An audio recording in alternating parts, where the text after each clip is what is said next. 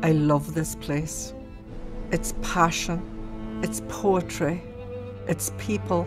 I love its people.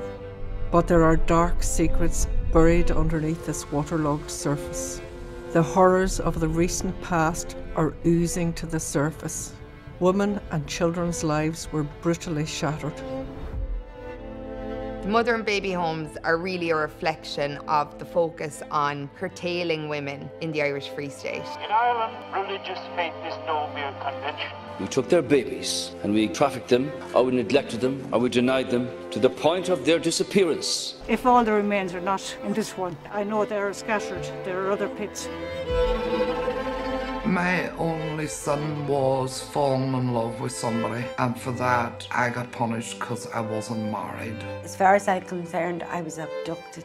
You couldn't ask. You just couldn't ask what you wanted to ask. I know how I survived, and I can't figure out to this day why he would have beaten me.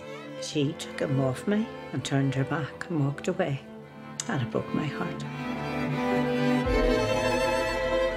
There are people who've been fighting all their lives to be heard, looking for justice. The truth may hurt, but the truth sets you free. I am flabbergasted and upset by the stories that you hear, and there are thousands of them out there.